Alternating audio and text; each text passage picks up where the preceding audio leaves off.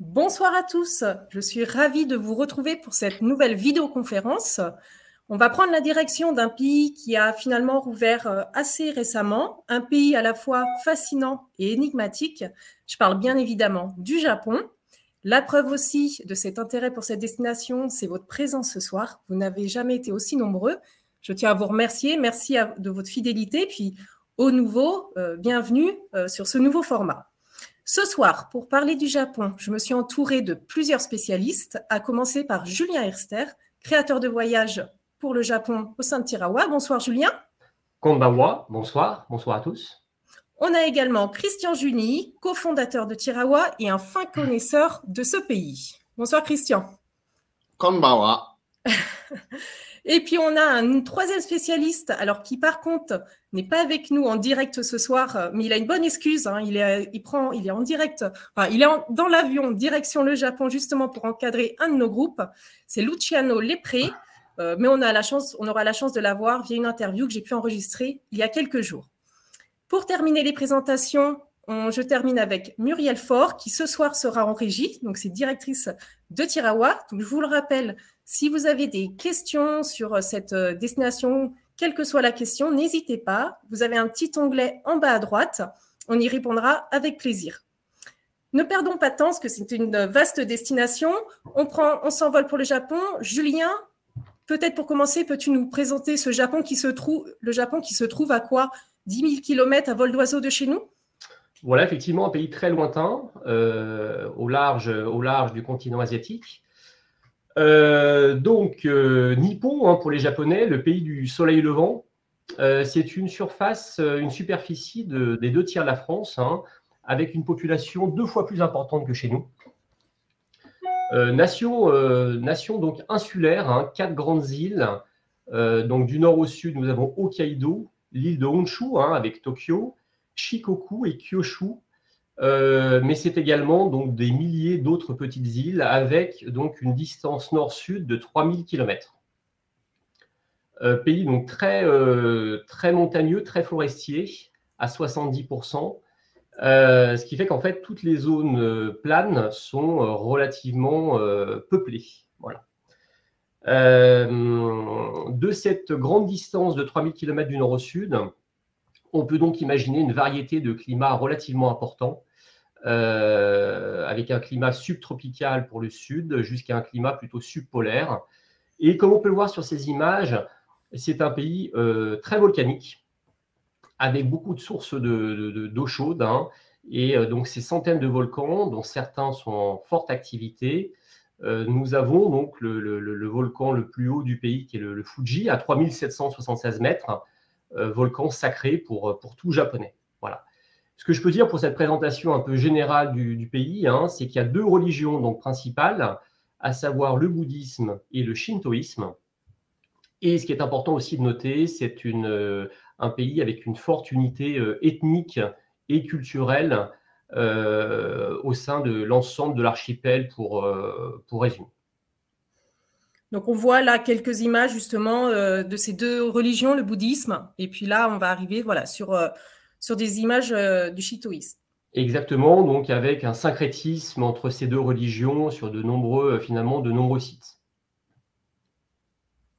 Je te remercie Julien pour cette, voilà, cette amorce, pour encadrer nos voyages, on fait appel à des guides francophones hein, qui sont de nationalités différentes, euh, françaises, japonaises, mais aussi suisses, hein, à l'instar de Luciano Lepré que, dont je parlais tout à l'heure. Donc il y, a, une personne qui, a plus de légitimité de présenter Luciano, c'est toi, Christian? Oui, c'est moi, parce que Luciano, euh, on pour faire vite, on s'est rencontrés une première fois sur un salon, le Grand Bivouac, et puis, euh, comme il m'avait l'air de connaître très bien la destination, je l'ai invité. Et puis, ça a été l'étincelle. C'était celui qui a fait, qui a fait qu'on a maintenant dix voyages différents sur le Japon. Et il s'est entouré aussi d'autres guides comme Cyril Jagado, comme d'autres guides au Japon qui parlent le français, etc. Et maintenant, euh, il a même sorti un bouquin, un livre de photos magnifique sur le Japon. Et il encadre euh, une partie, une grande partie de nos voyages. Et j'ai eu l'honneur de faire deux voyages en binôme avec lui. il connaît parfaitement le Japon aussi, parce qu'il a parcouru euh, quoi En vélo Japon pendant 15 mois. Oui, il est resté presque deux ans là-bas, euh, un peu route à l'époque, c'était il y a très longtemps, et il faisait du vélo. C'est qu'il il avait fait un tour du monde en huit ans, et il est resté deux ans pratiquement au Japon. Donc vous l'avez compris, c'était essentiel pour nous de l'avoir ce soir. Donc euh, il y a quelques jours, je l'ai interrogé sur sa perception euh, du Japon. Qu'est-ce qui, quelle est la particularité du Japon? Donc je vous propose qu'on prenne cinq minutes, ça dure cinq minutes son interview que j'ai enregistré. On se retrouve juste après. Christian, Julien, nous on éteint nos micros pour éviter les échos. À tout à l'heure. à l'Occident, c'est vraiment euh, différent. Qu'est-ce que toi, qu'est-ce qui t'a fasciné dans ce pays? Alors, je ne sais pas, il y a, il y a beaucoup de points. Je dirais déjà une qualité de service irréprochable. Je pense que nulle part ailleurs on a un service comme touriste, comme client. Euh, on a un service tel euh, qui, offre euh, la société japonaise. D'ailleurs, leur, leur, euh, ils ont un mot pour ça qui s'appelle omotenachi. C'est-à-dire, on doit donner tout ce qu'on peut pour faire sentir le client vraiment comme, ouais, comme un roi. Après, il y a aussi un niveau de sécurité qui fait rêver. Au Japon, j'ai j'ai oublié des appareils de photo, j'ai oublié des, euh, des portables, j'ai oublié des, de l'argent liquide, etc. Mes clients, la même chose. On a toujours tout retrouvé. Euh, la politesse et le respect, c'est quelque chose qui est inné chez eux. C'est très important qu'on ait le respect pour tout le monde. Justement, on ne parle jamais mal des autres et on ne se met jamais en avant. Donc on reste toujours dans l'unité. Donc le respect, il, est naturel. L'élégance euh, dans le quotidien, l'esthétisme dans tout ce qui, euh, qui présente. Euh, une cuisine très raffinée, une des meilleures pour moi du monde parce qu'il n'y a pas de beurre, il n'y a pas d'huile, on mange des produits assez, assez frais les onsen, c'est des bains. Euh, bon, il faut comprendre que, le Japon étant un pays euh, très volcanique, donc il y, en a, il y a plus que 60 volcans qui sont actifs. Ouais, donc euh, ces eaux, elles sont chauffées par, par la géothermie.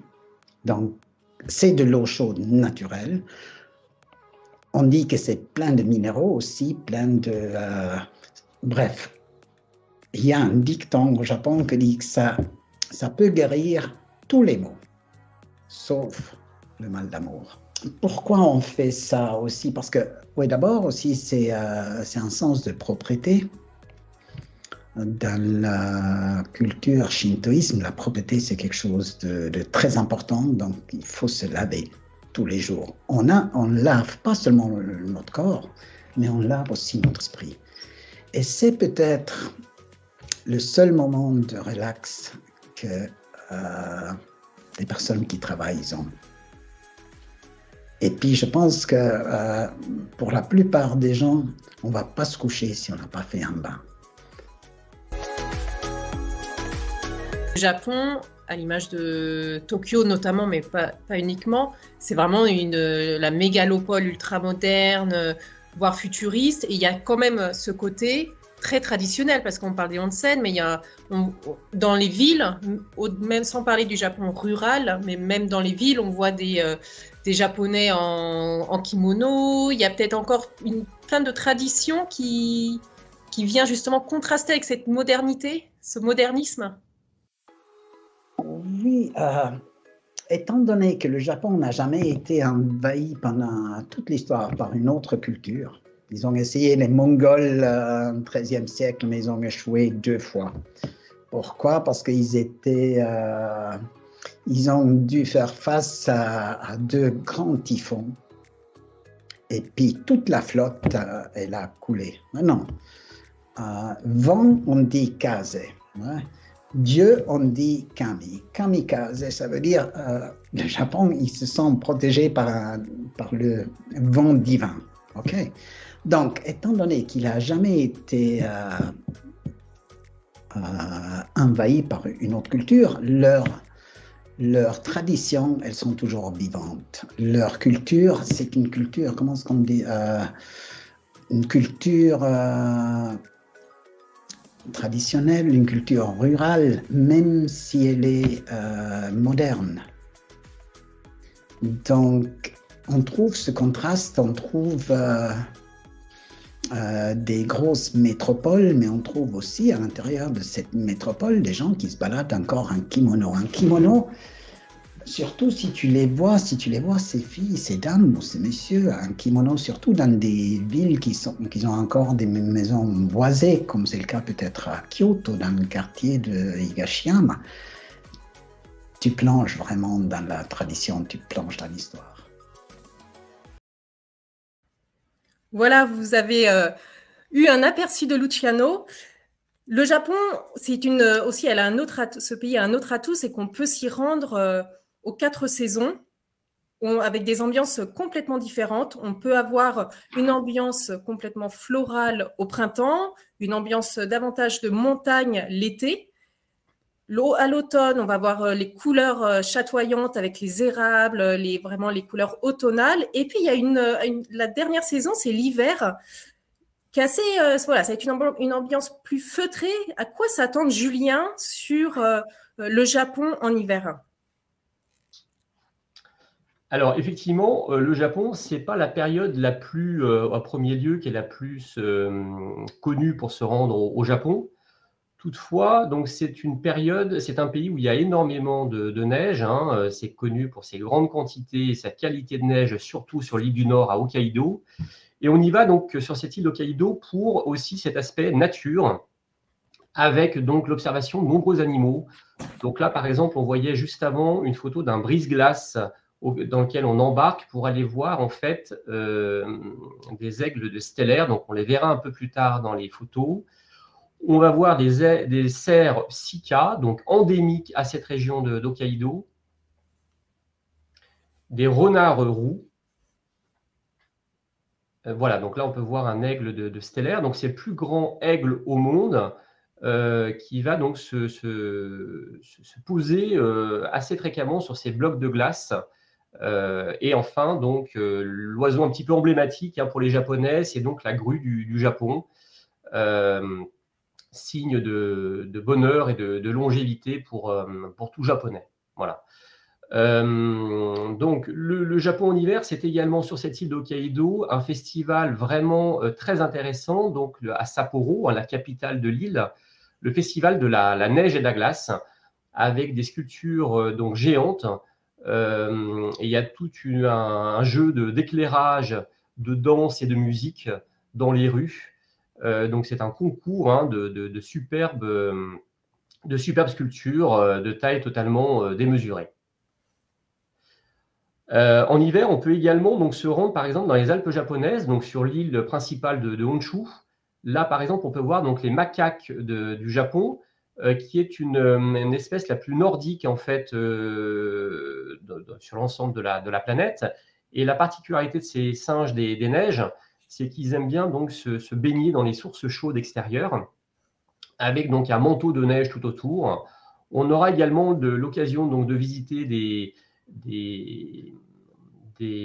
stations thermales traditionnelles.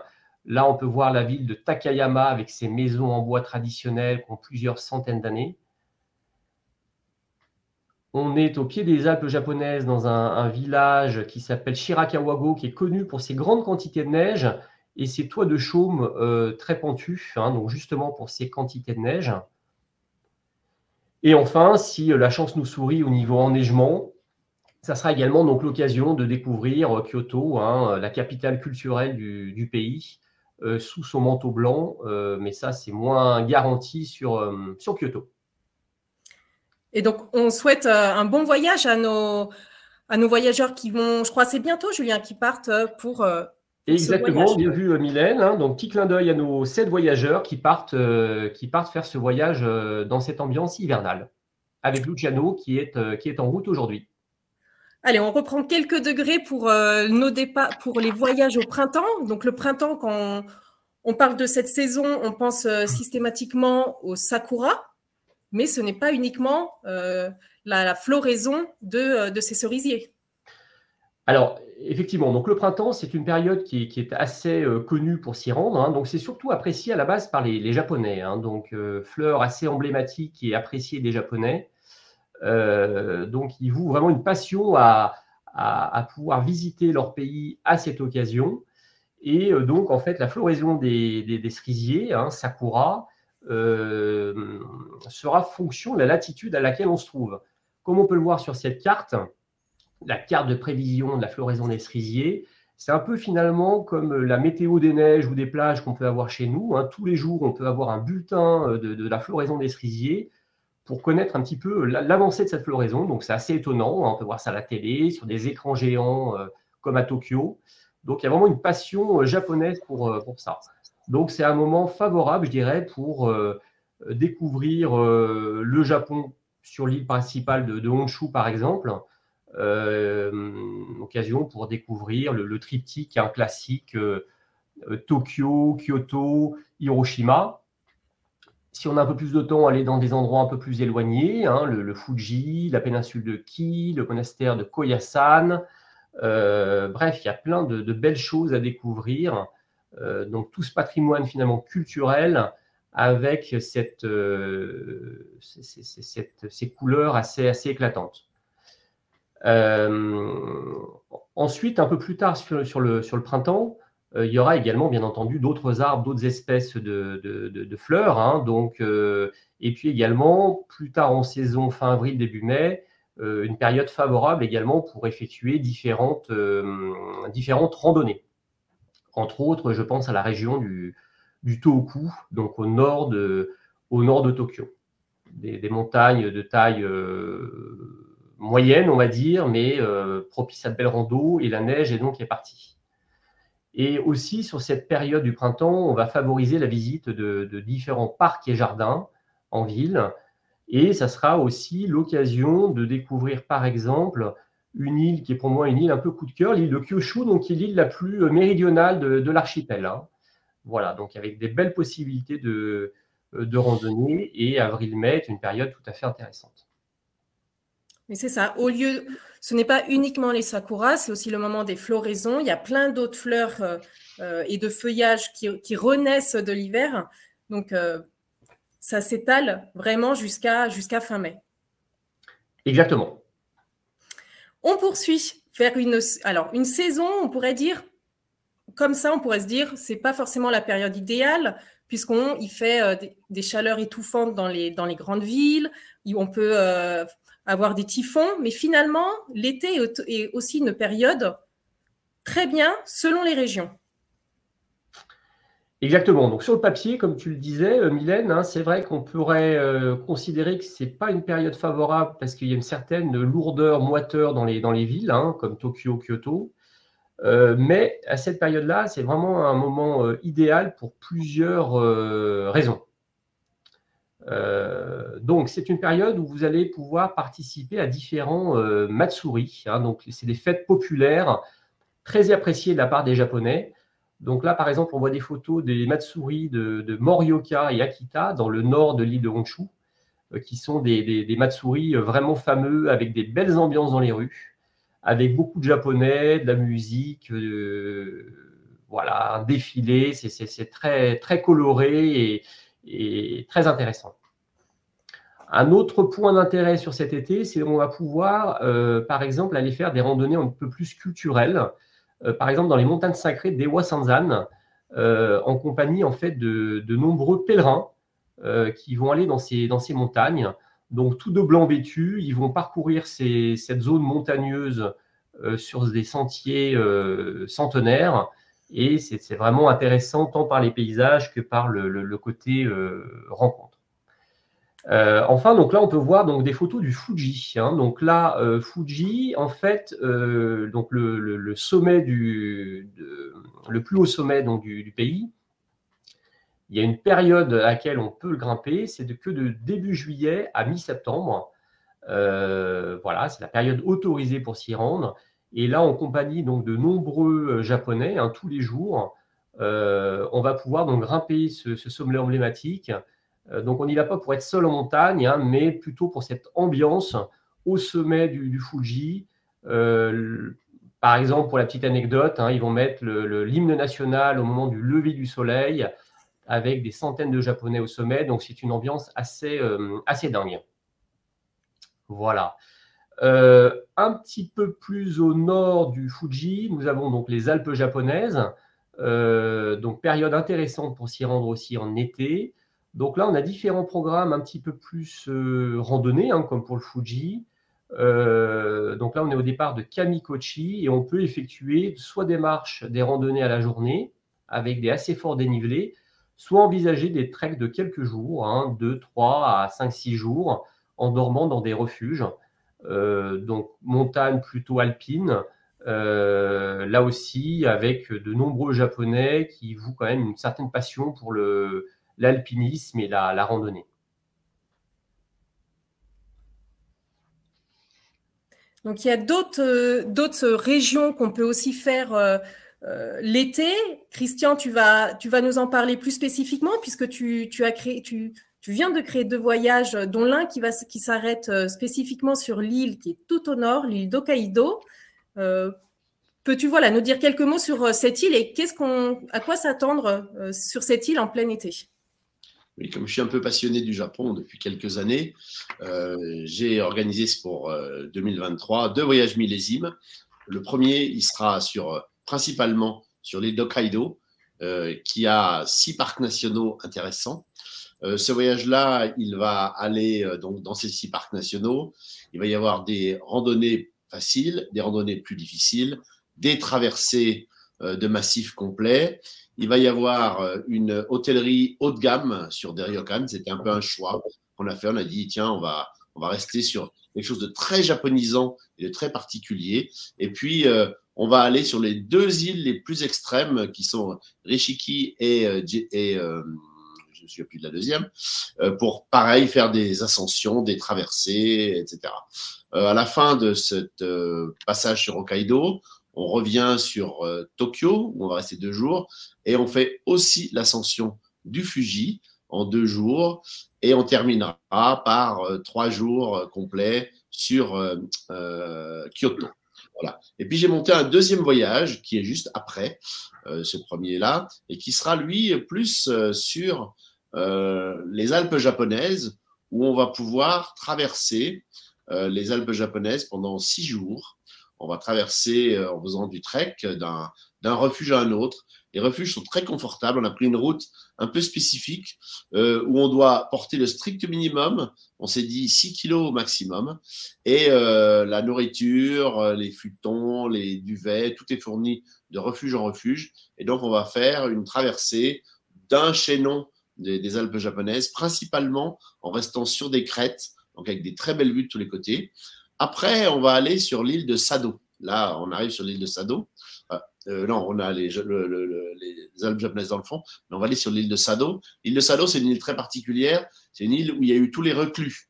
C'est-à-dire que là, c'était la prison. En fait, on envoyait là-bas les gens en prison. Et puis un jour, ils ont découvert de l'or. Donc, les prisonniers sont devenus euh, les mineurs. Et quand il y a eu plus d'or, ils ont envoyé tous les SDF du Japon, enfin le shogun et l'empereur, envoyé un paquet de gens sur l'île de Sado. Donc c'est une île très particulière, il y a beaucoup d'histoires. Donc on voit bien. Et après, pardon? Je te laisse finir. Et après euh, donc euh, cette île de Sado, on va terminer sur Tohoku, donc le nord de l'île de Honshu, où on va aller à la découverte de grands euh, volcans, d'ambiance. Et ça, ça va être au milieu des Japonais, parce qu'il n'y a pas de touristes à cette époque. Et les Japonais sont très curieux de nous connaître. C'est exactement ce que j'allais dire. Du coup, ces voyages aussi, c'est emmener sur des sites plus méconnus, plus atypiques, moins fréquentés et randonner, comme tu dis, avec euh, ces Japonais. vraiment une rencontre euh, particulière. Tout à fait, tout à fait. Pas de touristes et des Japonais. Et sur ces deux voyages-là, je serai accompagné d'un guide local japonais euh, qui va me seconder. Et sur cette période aussi, malgré qu'en effet, euh, au printemps, on voit les, les, fleurs, on a aussi plein de, de, de couleurs hein, pendant euh, ces randonnées euh, possibles durant l'été. Oui, oui, bah, il y a le volcanisme, les volcans, donc les fleurs. Hokkaido, c'est l'île des fleurs. Et en montagne, c'est comme ici, c'est comme si on avait en montagne. En juillet-août, c'est bourré de fleurs, donc on va aller herboriser en partie. On va finir la dernière saison, qui n'est pas la, la moindre, c'est la saison, donc l'automne, la saison des couleurs, un vrai patchwork. On en prend plein les yeux, Julien? Oui, c'est vraiment une excellente saison pour découvrir le, pays. Hein. Donc, au préalable, ce qu'il faut dire, tu en parlais un petit peu tout à l'heure, c'est que bon, septembre, c'est généralement un peu à éviter, euh, à part Hokkaido dans l'extrême nord, parce que sur l'île de Honshu, par exemple, hein, ou euh, Shikoku et, euh, et, Kyushu, on a une période de, typhon, hein, donc période qu'on évite. Si on y va donc sur octobre et novembre, là, à l'image donc de, Sakura, les cerisiers en fleurs, on a également une carte quotidienne du rougissement des érables. Donc les Japonais vouent aussi une vraie passion à cette à la teinte automnale, euh, surtout des érables japonais, hein, donc qui passera du, rouge au jaune en passant par, par le, orange. Euh, donc il y a vraiment des, belles ambiances de couleurs, généralement un ciel assez, euh, assez pur, assez dégagé. Donc un moment idéal pour, pour découvrir ce pays. Il n'y a pas encore de neige sur les, les montagnes. Euh, bon, à part peut-être le, Fuji, hein, donc on peut effectivement faire de belles, euh, randonnées euh, couplées à une découverte un petit peu culturelle.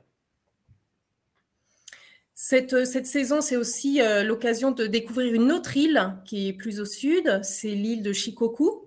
Christian, tu en reviens, tu es revenu justement, tu disais tout à l'heure, hein, de Shikoku l'automne dernier. C'était un premier voyage millésime qui avait été reporté avec voilà, les conditions sanitaires que l'on connaît Trop bien. Peux-tu nous en dire quelques mots? Oui, donc ce voyage-là, j'étais justement avec Luciano. Donc on a fait euh, l'île de Shikoku, c'est une île où il y a un pèlerinage qui est, qui est très connu, qui s'appelle le pèlerinage des 88 temples.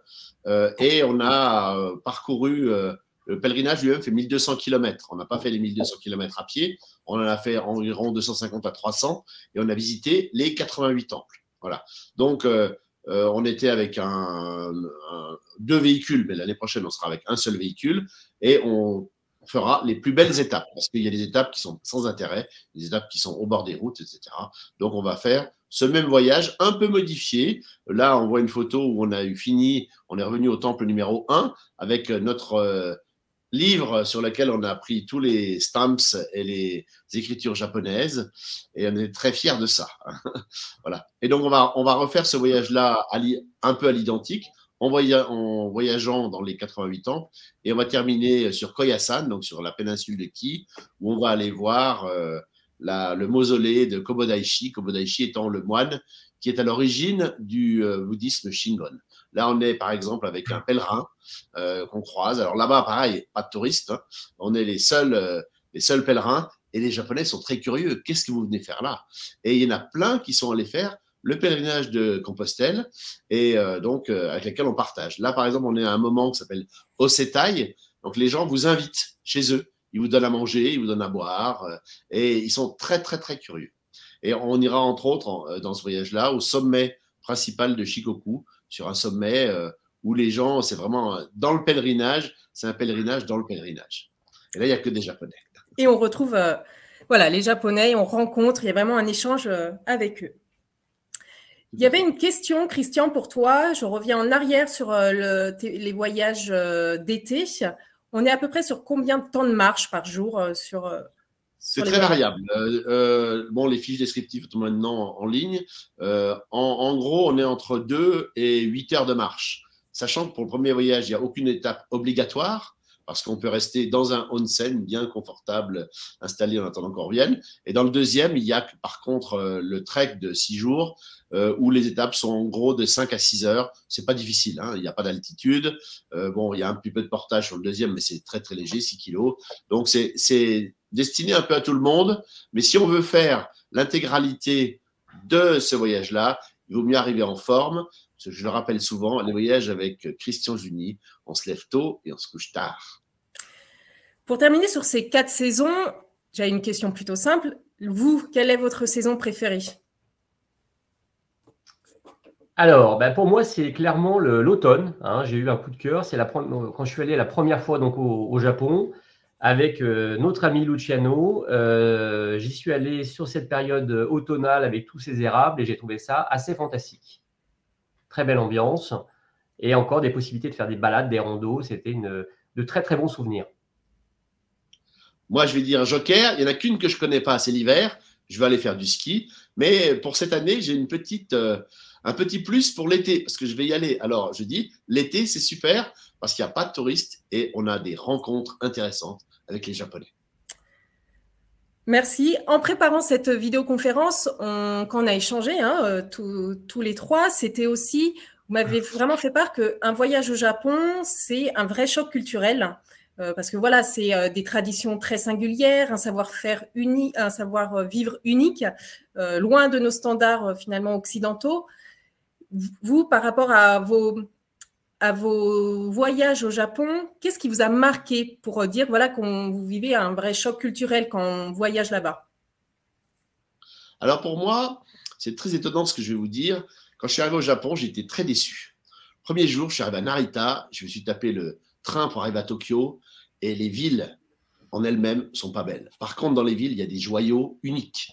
Donc, quand on arrive dans ces joyaux-là, on se dit Waouh, qu'est-ce que c'est intéressant magnifique. Et après, on s'habitue. Donc, le côté ville, ville pure, quand on est dans les villes, elles ont été euh, détruites à 80% euh, par la Deuxième Guerre mondiale. Donc, ils ont reconstruit ça un peu n'importe comment. Mais à l'intérieur de ces villes-là, vous avez des parcs, vous avez tous les temples, etc. Et ça reste des moments exceptionnels. Donc ça, c'est ce qui m'a le plus marqué. Le deuxième qui m'a le plus marqué, c'est vraiment la gastronomie. C'est vraiment quelque chose de totalement unique. Et euh, je, le, dis dans mes fiches descriptives, si vous voulez aller au Japon pour manger du steak frites et puis du croissant euh, café le matin, il ne faut pas venir. Il y a même des petits déjeuners japonais. Ah oui, euh, c'est surtout ça. Euh, très souvent, en fait, on essaye de mixer entre les petits déjeuners japonais, les petits déjeuners occidentaux. Donc, euh, des fois, dans les grands hôtels où il y a des buffets avec tout ce qu'on veut trouver. Donc, on peut un peu choisir. Mais quand on est dans un minchuku, par exemple, qui est une auberge traditionnelle, il n'y a pas le choix. Ça, c'est un menu. ce qu'on a vu avant, c'est un menu dans un minchuku où la dame, elle était un peu paniquée de servir une douzaine d'étrangers. Donc, elle avait écrit le menu en anglais en faisant des dessins. Et la deuxième chose qui est très surprenante, qui m'a beaucoup surpris, c'est les ryokan. Un ryokan traditionnel de 8 tatamis. un tatami, c'est une surface particulière. Euh, on arrive dans une chambre, on a payé souvent très très cher, et c'est vide, il n'y a rien. C'est le zen total. On se dit, mais on va dormir où? C'est comment? Et en fait, il y a des placards, et donc on arrive, on se dessape tout de suite, on nous amène un kimono, et puis hop, on file au bain, et le soir, quand on rentre, parce qu'on mange au kimono et tout, euh, quand on rentre dans sa chambre, la chambre est faite, ça reste très spartiate.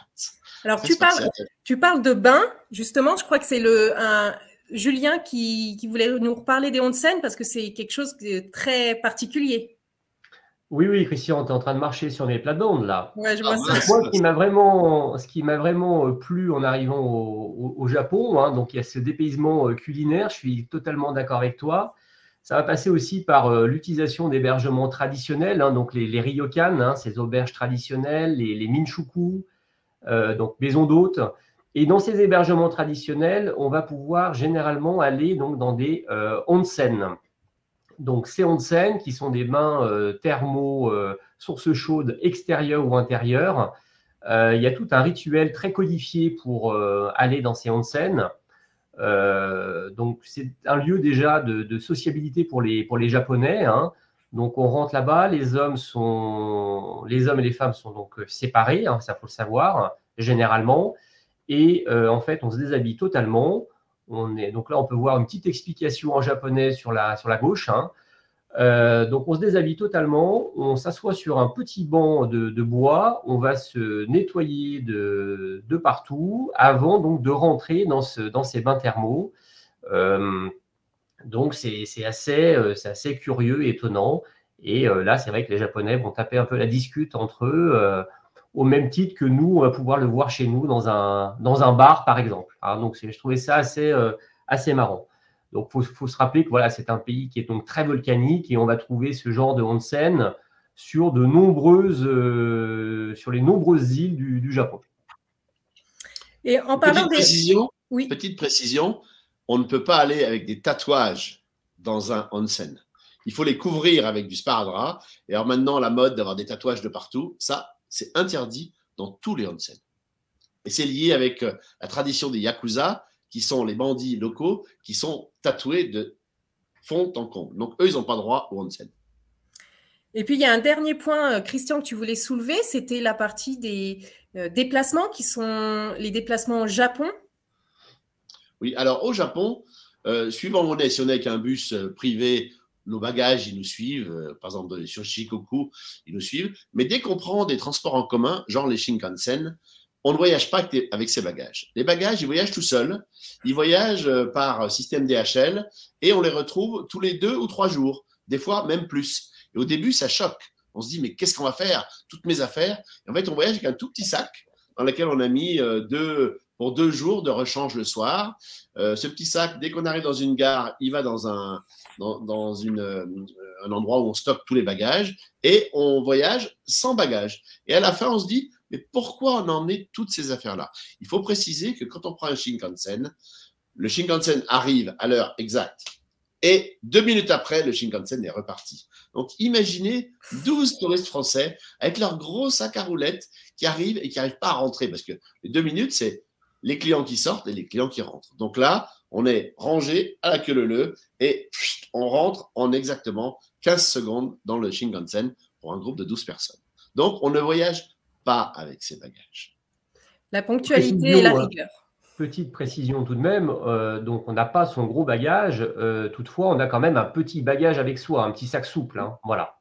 Donc on n'est pas totalement démuni, hein, et on retrouvera. On prend très peu de choses.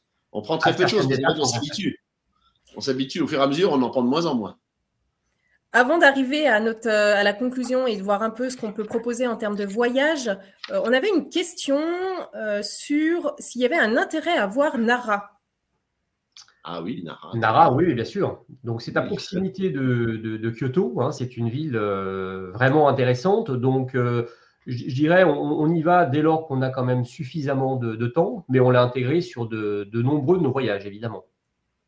Site, site majeur, bien sûr il y avait une autre question, c'était par rapport au sumo. Est-ce qu'on propose des voyages où on peut voir des combats de sumo?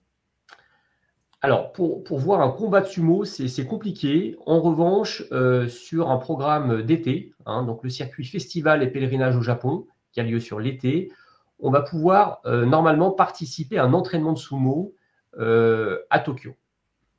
Donc, ça concerne pour l'instant un voyage. C'est assez compliqué pour pouvoir y accéder, en fait. Hein.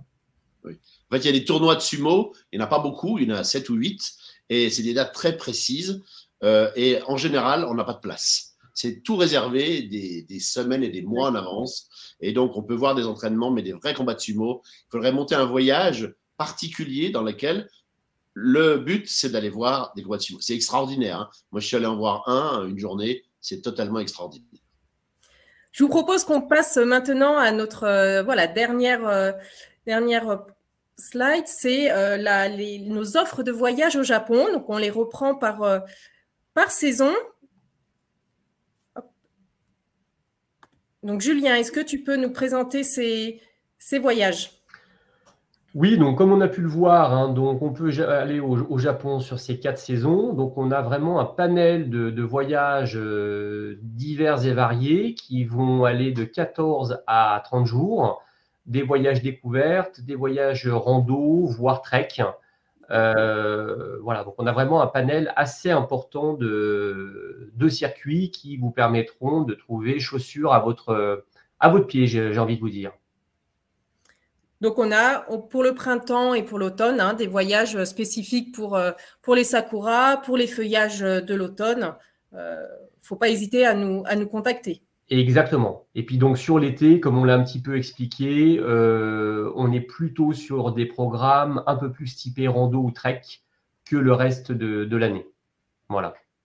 Et après, donc pour les, gens qui ont vraiment eu le, coup de cœur pour ce pays, euh, l'idée étant de pouvoir aller sur des circuits peut-être plus spécifiques, hein. donc le circuit d'hiver, le circuit sur Kyushu, le circuit de Christian euh, sur Shikoku.